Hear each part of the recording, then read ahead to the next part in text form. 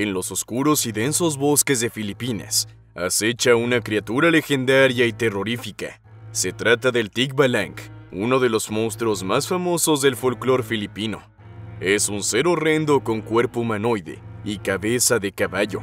Sus extremidades son desproporcionadamente largas, sus piernas terminan en pezuñas y sus manos son como garras retorcidas. Esta criatura se asocia a menudo con bosques densos y zonas remotas, donde supuestamente reside.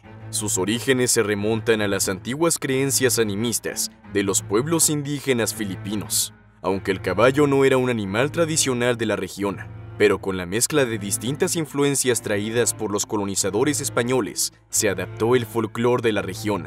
Es una criatura traviesa, a la que le gusta gastar bromas a la gente.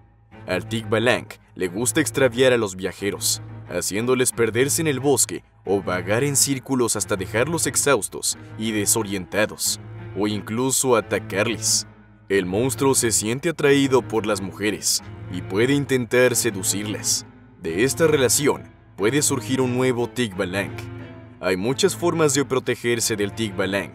Algunas personas llevan amuletos especiales, otros para evitar sus hechizos llevan la ropa del revés y también evitan viajar de noche o hacer ruido para molestarlo.